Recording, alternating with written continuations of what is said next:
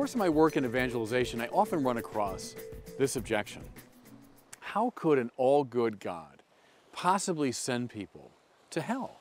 How could a God who's described as infinitely good create, sustain, and send people to a place of infinite, horrible torment? And you find the objection from both believers and non believers. In fact, a lot of my uh, friends on YouTube have directed my attention to a video done uh, by George Carlin, the comedian, many years ago. Carlin, I, I suppose, was an ex Catholic, and he was lampooning the whole idea of hell. And he said, Well, you know, for some sin, usually of a sexual nature, God will send you to this place of infinite, horrible, tremendous torment. But then he changes and he says, But of course, this God loves you. And of course, the people all, you know, burst into hysterical laughter. They can't get enough of it. Um, now, you have to confess, somewhere in your soul, you think, well, maybe Carlin's got a point. Is there something just inconsistent about this belief in the eternity of hell? Well, I would suggest that we should be very careful about dismissing this doctrine, which has been enunciated by all the great theologians of our tradition, and in fact goes back to Jesus himself. On the lips of Jesus himself, we find this language of Gehenna and of the everlasting fire, and so on. I would say this the doctrine of hell is a corollary, a kind of a necessary consequence of two other doctrines, and I doubt anybody wants to deny these other two namely, that God is love and that we human beings are free. I think you can't hold those two without also holding the possibility of hell. Now, here's why. Look first at the claim that God is love. We hold not that God has love, or that love is one of God's attributes, or love is something that God does from time to time. Love is what God is. The whole nature, essence, substance, life of God is love. To will the good of the other as other, that's who God is.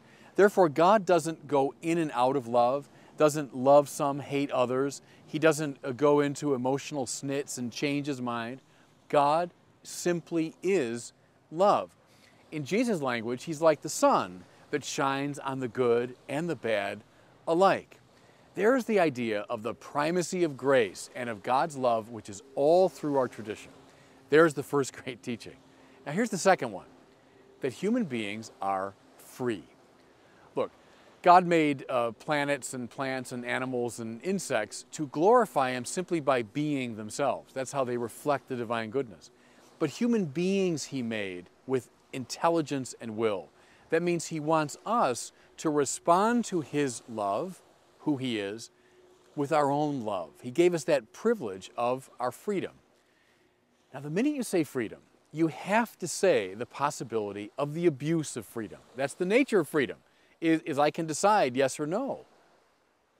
I can say yes to the love that God is and thereby find joy and peace and my own deepest purpose, or I can say no to it. I can resist it. What does that cause, that resistance? It causes suffering at the level of the soul, the deepest level.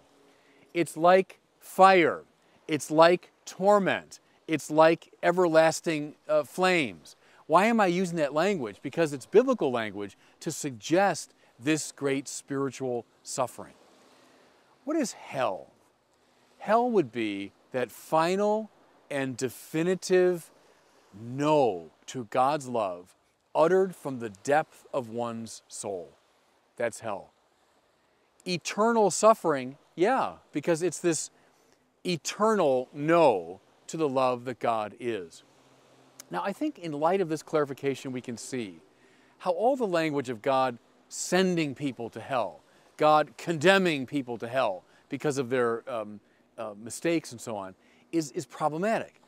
God doesn't so much send people there, people send themselves into this state by their refusal of the divine love.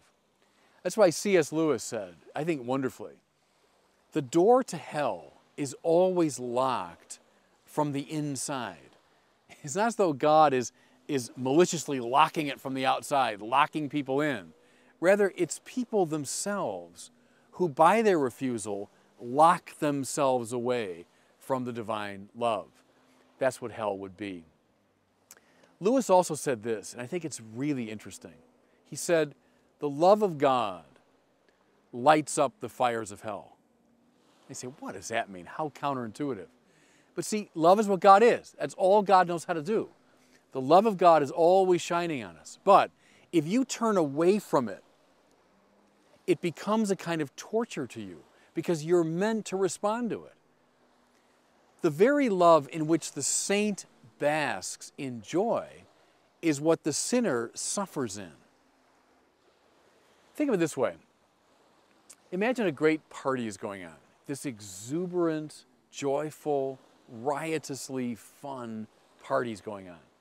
One person is there who is completely surrendered to it. They've given themselves over to the exuberance of the party. They're having the time of their life. And now imagine someone at the same party.